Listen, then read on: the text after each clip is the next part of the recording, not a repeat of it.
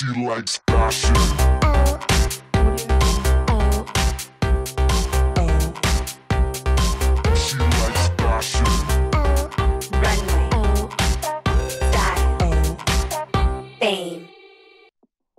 Muy, pero muy buenas tardes, bienvenidos a un nuevo programa de Diseñarte TV, otro sábado juntas. Hoy continuamos solitas, Beatriz. Hoy nuevamente, bueno, nuestros saludos a nuestra compañera Claudia Calache. Ya está mejor, pero bueno, preferible que se Estaba siga un poco cuidando. mimosa igual. Exactamente, le mandamos un abrazo grande. Un beso grande y que se mejore pronto también con, con- con su gripe. Bueno, Beatriz, muchas cosas en el programa de hoy. Muchas, por suerte. Un especial de lanas, podríamos decirle. Sí, mm, una invitada que además de lanas trabaja algunos otros materiales que ya nos va a contar, pero como siempre nosotros tratamos de potenciar quienes trabajan con diseño de productos primarios de nuestro país, así que bueno, vamos a estar viendo en realidad un programa de mucha lana. Sí, sí. Y de lindos emprendimientos también, Beatriz, ¿no? Totalmente. Con buenas historias detrás también, que eso nos encanta. Sí, eh, una de ellas además que hemos seguido desde sus inicios. Es verdad. ¿Verdad? Así que es un placer. También vamos a estar hablando eh, con Claudia, bueno, encargada de Texturable, una marca que además ha crecido muchísimo. Ella nos va a contar ahora después. Pero bueno, Beatriz, también eh, aclararle siempre a la gente que nos encanta que se comuniquen con nosotros, que les agradecemos realmente eh, la gente que se sigue sumando, los me gustas nuevos que vamos incorporando semana a semana en nuestro Facebook es Diseñarte. Nuestras vías de comunicación, las otras son muy fáciles. Eh, Twitter e Instagram, Diseñarte TV, arroba Diseñarte TV. Y nuestro mail para que se comuniquen desde cualquier punto del país, Beatriz, y nos, nos cuenten en qué andan, en qué proyecto productivo tienen interesante que podamos promocionar desde aquí, desde Diseñarte. Bueno, ya saben, diseña, arroba gmail.com. Es nuevo este Gmail que no logramos Vos terminar sabés de que me- aprenderlo. me- enloquece, bien. sí, me enloquece un poco, pero ya, ya lo vamos a aprender. Bueno, Beatriz, como siempre te digo, de acá, Nos hoy, por al más que mar. no esté Claudia, Nos vamos al mar. yo te invito a almorzar Lo lamento al por mar. ella. Ella se lo perderá. Es la segunda vez que se lo pierde. La segunda Chao. vez, porque es nuestra salida, sí. Obligada. Obligada de todos los sábados. Es salida solo de mujeres, además. Totalmente. Con lo bien que se pasa. No se suman hombres, nada. Es solo nada. ponernos al Nos día, ponemos chusmear al día después de una semana de mucho trabajo. Agotada, Total. exactamente. Bueno, el MAM que tiene de todo, Beatriz. Hablábamos el sábado pasado con, con la directora que nos acompañó, pero además de ser un paseo hermosísimo, ahora también tiene espectáculos gratuitos. Te los voy a contar ahora después. Dale. Primero te voy a invitar a que mires la presentación. Dale, a ver.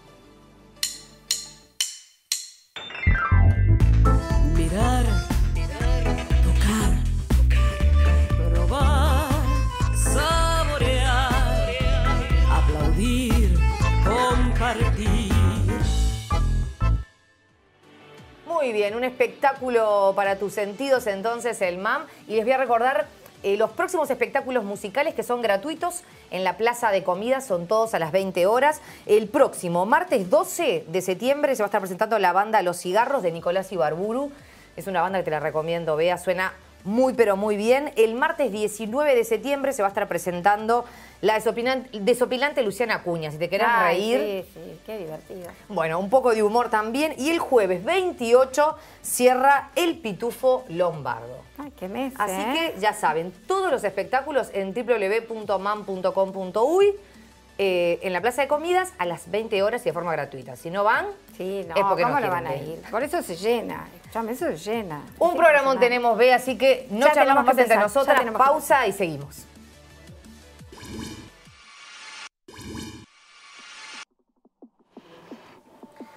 Bueno, para nosotros es un placer realmente recibir a Silvia Umpierres. ¿Cómo andas, Silvia? Lo más bien, por suerte. Muchas gracias por haber venido. No, gracias a ustedes por la invitación. Hoy hablábamos con Beatriz de que nos gustaban las mujeres emprendedoras, pero también aquellas que tienen lindas historias que contar. Sí. Y vos sabés que a mí me encantó, Silvia, cuando indagando un poco de tu trabajo, me enteré que esto viene de otras generaciones, ¿no? El amor por el arte, de un bisabuelo que viajaste a España Tal y te cual. diste cuenta que el hombre hacía cuencos Con fibras naturales. con fibras naturales. Sí. Y ahí empezaste a entender Sí, un poco, un poco la historia, un, un poco poco más la historia, historia. de dónde venía también Obvio. esa pasión, que al principio Obvio. empezó, me imagino, capaz Claro, que de esto- forma más sí. natural o... Sí, en realidad como un poco como caprichosa, si uno quisiera denominarlo, ¿no? Este, eran los años 80, sh- me gustaban mucho los tapices, no sabía muy bien por qué. Eso me sentí durante muchos años como la oveja negra, ¿no? Esta cosa de que uno no sabe de dónde, por qué tanto ese amor por eso que uno siente, pero que está ahí y que uno no lo puede este, quitar de su vida, ¿no? Y bueno, empezó con el telar criollo. El telar criollo es un- una forma, una metodología de tapiz muy rudimentaria de nuestro país y empezó puramente con lana.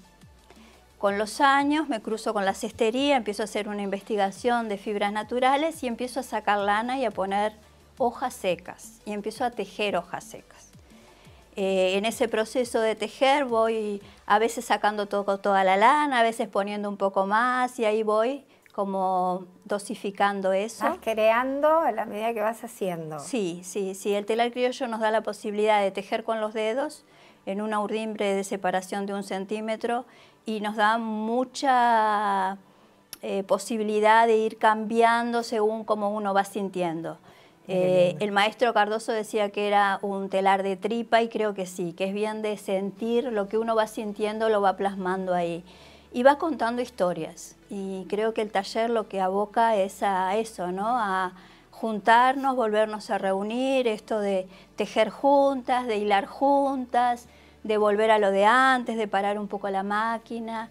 Y ¿Cómo hay toda una movida, Silvia? Siempre hablamos con Beatriz, con Claudia, de, de lo que vos mencionabas, ¿no? De esos encuentros de a veces por querer eh, desenchufarse y hacerlo como una especie de terapia. Obvio. Eh, pero como bien vos decías, ¿no? El encuentro entre. Yo sé que hiciste talleres también con mujeres, también con niños, este, y siempre tratando como de rescatar. El objetivo es el mismo, un, un espacio de disfrute donde cada una se pueda encontrar en ese espacio, eh, expresar cosas que tenga que decir, historias que todas tenemos. Así como tuve yo esa historia metida adentro durante muchos años que fue saliendo de a poco, bueno, se van atando historias con otros, memorias que van aflorando cuando uno va tejiendo y es mágico, la verdad. Vos Feliz de la muchas vida. veces de que, de que tu arte es como sanador, ¿no? Totalmente. Y es un poco lo que estás diciendo, Sí, sí. ¿no? Porque- Para mí fue sanador y lo veo en la gente que es, es de, mu- de mucho placer, pero porque está abocado no solo a- al producto. Yo siempre digo, la excusa es el objeto que vamos a hacer. Eh, el taller es mucho más que eso, mucho más que eso. Porque tú das clases además. Sí, sí, yo me de- dedico a la docencia, este, a la docencia, pero ya ahora, después de toda esta historia, más a la docencia con ese objetivo fundamental, ¿no? Ahí estamos viendo, eh, Silvia, mientras charlamos Sí. contigo, lo que contabas, ¿no? Algunas obras de arte en donde se ven hojas. Solo hojas, solo, hojas. Ahora, qué impresionante, ¿no? Qué, qué trabajo el, el- el armar esa obra con hojas. Sí, sí, qué loco, ¿no? En este Qué mundo, loco, pero ¿y qué? Y en este mundo viendo, que miren, andamos estás en ahí, tu taller. Ahí estás en plena en ahí en pleno pleno taller. taller. porque estaba preparando la exposición que hice recién en el, en el Banco República. Y, y bueno, y después de eso viene ahora, vieron que tenemos la Bienal de Arte Textil Sí, el mes claro. que viene. Y bueno, y ahí también trabajando para, para ese evento que va a ser un, un gran evento. Qué divino. Eh, trabajás mucho también con, con mujeres, con niños. Sí, este, sí. Te he escuchado en varias oportunidades decir que siempre tratás de rescatar eh, lo femenino. O sea, Totalmente. eh, el, mira, tenés una gran defensora acá, Beatriz. Trabaja todo con, lo- con el género y le da mucha importancia cuando hace talleres con mujeres, eh, todo lo relacionado con el género, ¿no? Algo que me Sí. pareció como muy lindo. Sí, sí, de, sa- de sanarnos. Creo Exacto. que es- transitamos por un momento donde tuvimos que sacar nuestro lado masculino y tenemos que volvernos a centrar, me parece. Eh, estar en nuestro eje nos favorece a todos, a los masculinos y a nosotras también. Qué divino. Eh, Silvia, ¿quién generalmente quién te compra, por ejemplo, tus trabajos?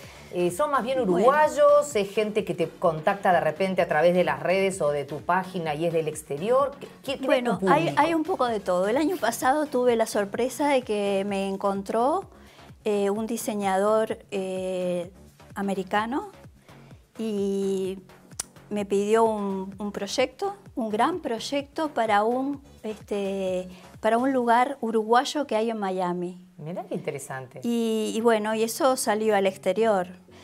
Yo creo que la mirada la ponen más los extranjeros que nosotros. Por más de que ahora en los últimos años hay una mirada un poco más este, amorosa, volver ¿no? A, volver, eh, la gente se detiene de repente en un chal, en una cosa hecha a mano, en, en los tintes, empezamos como a descubrir un poco eso. Y, y bueno, y sí, la idea es del taller rescatar muchas técnicas que se están perdiendo, entre el fieltro, el hilado a mano. eh, acá tenemos un ejemplo de tu trabajo en fieltro. El fieltro. Esto es, es divino. A ver si lo podemos mostrar. Mirá qué belleza. Impresionante. Sí, es, suavecito. digo, es- hay, hay, esto es de una, de una alumna del taller que eh, la idea es encontrar la brecha donde nos posibilita expresarnos. No importa el- la técnica. Por eso el taller trata de abrir varios espacios, varias disciplinas, como para que cada una pueda ir investigando y encontrando su mejor sitio. Qué, diferencia, ¿no? Los colores que nos proponen tus dos alumnas, Obvio. ¿no? Ahí tiré todo, no importa, ahora lo levantamos. No, pero Mirá el, no, pero mirá el trabajo. Sí, sí. Los colores, la, textura. No, no, mirá la. Es Mirá una que sí. belleza. Es ¿no? espectacular. Como cada una Impresionante. este, nos muestra realidades distintas. Obvio. Es que es como vos decías, ¿no, Silvia? También a través eh, de los colores que se utilizan y de las técnicas, uno también está comunicando, ¿no? Ni que hablar, ni que Eh, hablar. Lo que uno está viviendo, Lo lo, que vivió, sintiendo, lo que está obvio. sintiendo. Entonces, como bien decía Beatriz, son bien diferentes los colores y, y lo que transmite cada uno, ¿no? La gente, Silvia, que quiera acercarse, que quiera hacer los talleres, eh, ¿cuándo comienzan? ¿Cuánto duran? ¿Se pueden Eh, este, enganchar en cualquier momento en cualquier del año? momento, en cualquier, momento. Sí, sí, en cualquier momento. Eh, tenemos eh, talleres de fin de semana, tenemos talleres semanales. Digo, hay varias propuestas según las inquietudes, ¿no? Perfecto. Y como decíamos, en realidad es abierto eh, tanto a, A todas las edades mujeres, a y a niños, hombres, a todos. hombres. Tenemos taller de cestería, telar criollo, investigación de técnicas en general, hilado, teñido con fibras naturales. Muchos hombres que empezaron a tejer. Sí, hay una, una movida así, masculina. Es interesante eso, Muy eso que interesante. decís, porque a veces se asocia ¿no? con que solamente son Solo las mujeres, femenino, claro. Pero, pero, no, los por hombres suerte no. también canalizan por Claro, allí. claro. Mira qué bueno. Bueno, en pantalla ahora también ya va a ir saliendo los datos de cómo contactarse con Silvia, pero bueno, también a través de su Facebook. Es bien sencillo porque es su nombre, Silvia Umpierres. Y si no, Silvia, si nos querés dejar también un teléfono. ¿Cómo no? 099-273-345. Perfecto. Un linda, una linda excusa, Beatriz, para, para desestresarse y para también conectarse con uno mismo. Totalmente, y para conocer otras historias, que de Sí. eso también se trata, ¿verdad? Sí, y para regalar, a veces cuando tenemos que hacer un regalo, que sea un regalo diferente, ¿no? Totalmente. Una opción distinta para regalarnos. Absolutamente. Me encantó. Precioso. Silvia, gracias de todo corazón por invitarnos. Por favor, Y gracias bueno, a y un, ustedes. vamos a ir, por cualquier día nos aparecemos. Bueno, por acá, Seguro, en- en- acá, ya, acá ya quieren comprar, viste Sí, que sí, sí, cada este invitado que tenemos Dejan ya- el sueldo. de- dejan el sueldo acá. Claro. Así que Silvia, ya creo que hay más de uno que te va a venir a, a pedir tus datos. ¿eh? Genial. Gracias por acompañarnos. No, por favor, gracias a Una pausa y ya seguimos.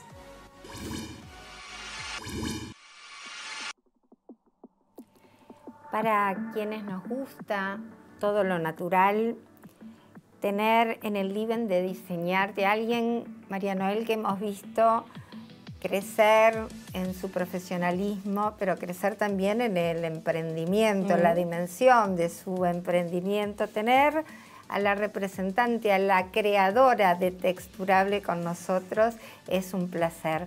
Y estoy teniendo lo que es la presentación que hay acá, Manta. Un chal. Abrilo, Miren Beatriz, lo que mostrá, esto. Sí, mostrá. yo no puedo conmigo. Televisión verdad, mostrá. Televisión verdad. Ay, mira los colores, me muero. Como para mí, te digo, los colores. Qué belleza. Miren lo que es esto. Miren lo que es No, no, no, una belleza. Hablando del- de lo que son nuestras lanas, de la excelencia de nuestras lanas, tener a alguien que prioriza precisamente el trabajo Ay, con la lana en su forma natural, que su teñido también es natural, es estar con una de nuestras representantes más queridas, además, porque es como que encaja todos los conceptos que nosotros reivindicamos como identidad nacional, además, ¿verdad?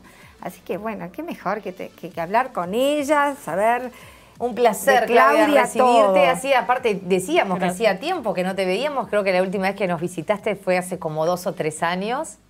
Es verdad. Y es nos, verdad. nos- nos quedamos muy felices, como decía Beatriz, de que el emprendimiento siga creciendo y cada vez que nos encontramos, bueno, tenés más noticias.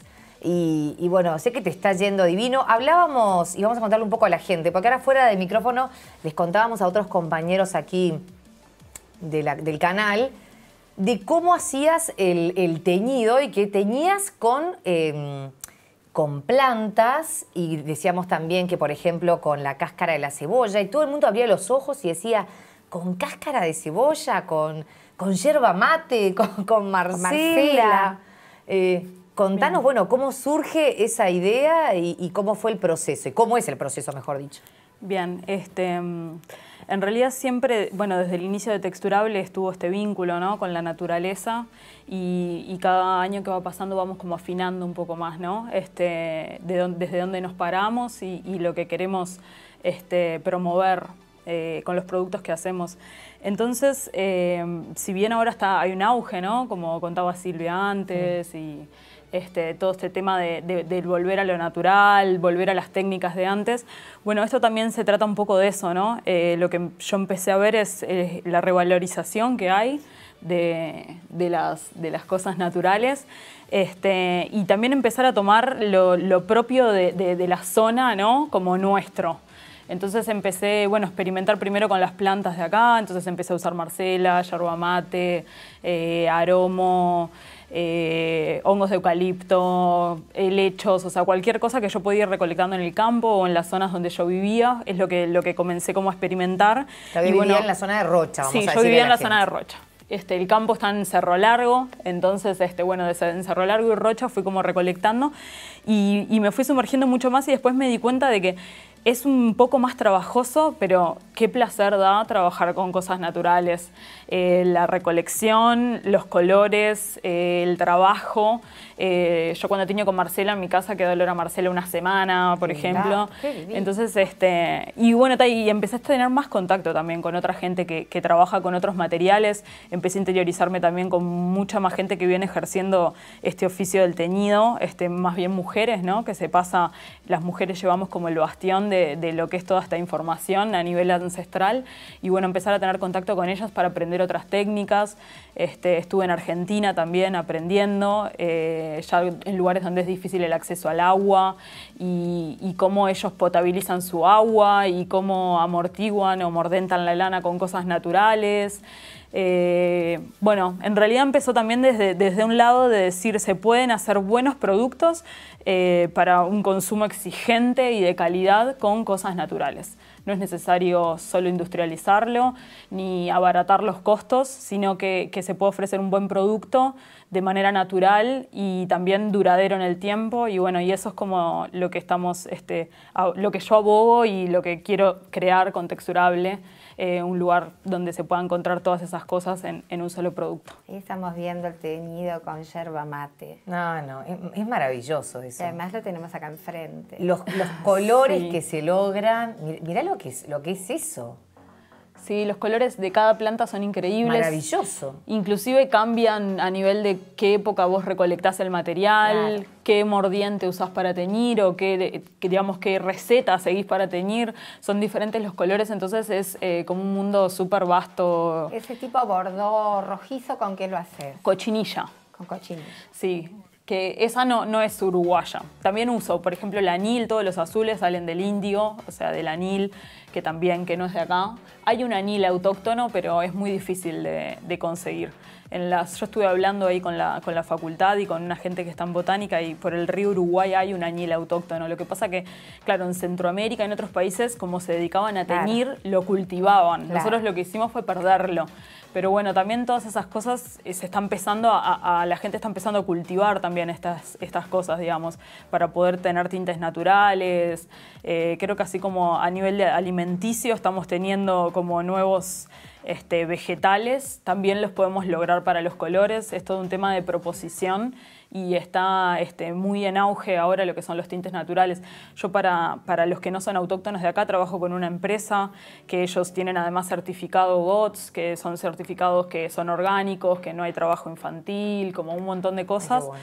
Este, y hay Y muchas que- empresas que se están en cualquier dedicando. momento tenés que tener un certificado verde. Sí, estamos, estamos abogando en eso. Lo que pasa yo que son- creo que sé que andabas en eso. Sí, sí, andábamos, andamos en, andamos en eso. Este, hay algunos que son un poco complicados a nivel de, de- de producción porque implican no solo mi producción, sino la de mis vecinos, acorde con, con lo que yo hago, entonces eso ya es más complicado. Pero bueno, ahora estamos, sí, este, estamos certificando, estamos en, en el proceso de certificar, que ya próximamente les contaré. Vengo otra Ah, vez bueno. a contarle. ¿Cómo? Es una excelente Todo. noticia, porque además en el mundo, cuando tú vendes con certificados, con esos certificados Obvio. verdes que te garantizan toda la, la, digamos, la pureza en- durante todo el proceso, tienen así una predisposición la gente a comprarla, porque la vuelta a lo natural Sin implica muchas cosas, pero además la lana, como siempre decimos, es tan noble. eh, tú no tenés alergia si usas sa- lana, si está teñida con cosas naturales. Tú tenés una sensación diferente con la lana natural. Entonces, todas esas cosas hoy por hoy en el mundo son muy valoradas. Nosotros todavía no lo... Ujú. eh, en realidad, no solo no lo valoramos, no nos damos cuenta todavía, me parece. Eh, porque cuando no lo valoras es porque lo ves, lo sentís, pero no, no sabes el valor. Sin embargo, en realidad no nos estamos dando cuenta esa riqueza impresionante que tenemos a la altura nuestra, en cualquier lugar de nuestro país, en cualquier lugar del territorio nacional, esas ovejas maravillosas que crecen y crecen y que nos dan esta maravilla. Sí, eh, esperemos que cada vez más gente pueda ser consciente de eso, porque bueno, la, la- la población de ovejas ha ido disminuyendo estos Claro, últimos años. claro. Este, pero bueno, creo que también es un tema de mercado. Es un tema de este, mercado, claro. Y, pero bueno, esperemos que cada vez se va valorizando más la fibra, se va entendiendo también las, la- la- las virtudes y, y- y las ventajas de poder trabajar con fibras naturales. Y el Uruguay además tiene un nombre hecho en eso, que la verdad este, que eh, eso es un agradecimiento, yo como uruguaya, tener ese, ese nombre, las lanas uruguayas, cuando vos decís, estas lanas de Uruguay, eh, eh, el, el mundo recuerda y sabe y lo tiene Uruguay como co- muy bien posicionado a nivel de lana, y eso creo que es una suerte para todos los que trabajamos con esta fibra. Este, y bueno, nada, que, que- que todos se puedan alinear cada vez más a- a- al trabajo que, que se puede hacer con la lana, lo deseada que es afuera, la virtud de cómo producimos la lana nosotros, que no sucede en todos lados, a campo abierto, con pasturas naturales o mejoradas, pero eh, es una virtud que, que también a veces no sabemos apreciar y, y en otros lugares eh, es otro tipo de crianza y otro tipo de, de manejo este, de producción. Así que nada, yo la verdad que a mí me enorgullece, yo con la gente que trabajo en el campo de mis abuelos, todo, cuando las veo desde crecer a todo, y, y ese es el vínculo que yo encuentro con lo que me dejó mi familia, digamos, en lo, con lo que representa para mí mi familia, mi contacto es desde ahí, y, y estoy orgullosa con todos los que trabajan y no sé, me parece que tiene tanto el Uruguay a nivel de tradición, de técnica, de producción, de, de, de- trabajar, de trabajo, de trabajo y, y de buenas prácticas que, que nada, tiene todo como para poder ordenarlo para, para que sea un producto número uno cualquiera que haga. Pero tus productos son número uno. Algo que está buenísimo, Beatriz, que hablábamos con, con Claudia antes de comenzar la nota, que nosotros decíamos, claro, mucha gente dice, bueno, pero los productos que tienen un diferencial, ¿no? Que son eh, productos naturales, con fibras naturales y demás, y que tienen un trabajo extra, porque obviamente el procedimiento que es, vamos a decir, lo vale. Bueno, mucha gente puede decir, claro, pero ¿cuánto me cuesta una de esas prendas. Y Claudia decía algo muy interesante, y es que está tratando de incentivar a la gente de poner precios más accesibles, ¿no? En las, en las prendas o en las fibras Naturales. que son eh, naturales, ¿verdad? Sí, tal Que cual. las otras que Que nos el- contabas. Exactamente, este, nosotros este, hace, hace un tiempo y la colección pasada veníamos trabajando, trabajamos la línea con plantas y trabajábamos una línea que, que la teníamos con anilinas o eco, que son las anilinas ecológicas, que son la que, la que usan la mayoría de las empresas que venden acá Sí, para sí, afuera. sí. Y bueno, en un momento me paré y dije, bueno, no, yo quiero que la gente compre teñido con plantas. O sea, yo quiero que la gente realmente pueda acceder a esto, a la virtud que es esto, y también para la gente que tiñe conmigo, o sea, poder teñir de esta manera. Y bueno, entonces nos planteamos este, a nivel eh, de empresa, decir, bueno, vamos a favorecer a las personas que quieran elegir el comprar con plantas frente a las otras anilinas, que capaz que sí, no dañan al planeta, no dañan al humano, no todo eso, pero no son 100% naturales como las plantas. Entonces, bueno, decidimos, este, por un tema, nada, de incentivo, decir, vamos a premiar al que elija lo natural y al otro le vamos a dar la posibilidad si lo quiere, pero bueno, no le vamos a dar el premio. Este, y bueno, en realidad se, se basó un poco en eso. Nuestra idea igual en este, la próxima colección viene toda, toda basada en plantas porque también queremos como empezar a investigar un poco más. ¿Y ¿Vas a presentar la nueva colección? Sí, sí, sí, voy a presentarla. Bueno, mant- mantenernos. Pero mantenerlo las- porque al tanto. escuchame, es lo que nos gusta. Dale. Escuchame. Bueno, y por supuesto que la gente puede comunicarse con ella eh, al Instagram. Texturable. Texturable, uy. Bueno, Sí. ¿No? Tenés- Eso que ustedes ven ahí son vestidos. ¿eh? Sí, son espectaculares. Me, Sí. me paro un segundito. Lo que no se debe hacer en Lo televisión. que no se debe hacer lo, estamos vamos haciendo, a hacer para pero mostrar realmente miren lo que es este ese color, vestido. ese color con que lo conseguiste. Eso es cáscara de cebolla, pero está suavecito, No. mirá. La cáscara de cebolla Cáscara de cebolla, una maravilla. te da desde este color ¿En hasta serio? naranjitas, claro, sí, sí. Y si lo oscureces como modificador, puede llegar a un tono como naranja oscuro, como si fuera un rust, no sé cómo se dice. Claro, en como es, la, como, como es Exactamente, la- la- como es la como es la cáscara, la, la cáscara de cascarita de la- Ay, exactamente, exactamente. Esto es Una maravilla. Maravilla. Vean, que están es haciendo señas de que nos encanta, pero Yo no me podemos seguir hablando. toda la tarde hablando con ella. Además le Igual pone un ahora cariño. termina, ¿Vos termina viste el programa, explica? igual seguimos hablando fuera de, de Es verdad, cámara, ¿te es parece? verdad, es verdad, tenés razón. Bueno, y los invitamos a todos. Gracias, Claudia, por No, de nada, acompañarnos por favor, y que nos sigas manteniendo con, con las, presentar con la todas las noticias. ¿Y cuándo presentás colección? Les, les voy a pasar un mensajito. No Sí. quiero decir fechas, Perfecto. porque No, bueno, no. Yo soy la, la que aplaza las fechas, pero bueno, cuando uno hace las cosas despacito y con un equipo chico, bueno, se van haciendo este, a poco, pero no, es muy, muy próximamente. Bien, este, muy bien. Ya, Ya lo, lo- lo vamos a anunciar próximamente. Ahí va. Bueno, Beatriz, momento de despedirnos y agradecemos, Ah. por supuesto, a todos los que nos mantienen. A los que nos ayudan a poder estar y llegar medianamente Media- porque llegamos así, ¿no? Eh, sí, al fin de la semana. Bueno, agradecemos. Sí, le quiero mandar a, a Bendito, que se ocupa de que el pelo esté en orden, eh, un abrazo, porque además es gente joven, muy talentosa. Así que bueno, un saludo grande a, a Diego de Bendito. Divino. Bueno, de mi caso, un beso grande también para Dani Ortega de Casa Ortega, este, con el pelo. Bueno, divina la ropa de Sabia que siempre me viste, las chicas de The Mood con, También natural. con ¿no? los zapatos. Bueno, este sí, 100% lino también, siempre trabajan así. Así que bueno, a Camila Snellis también y a todos los que nos miman siempre, Beatriz. Muchas gracias por acompañarnos. Y Y, nos miren fuimos. que el próximo sábado no se lo pierdan porque otro programa. Otro programa, Beatriz. Totalmente. Si no lo decimos nosotras y no nos damos bombo, Claro, ¿qué obvio. vamos a hacer? Hasta el próximo sábado. Chao. She likes fashion.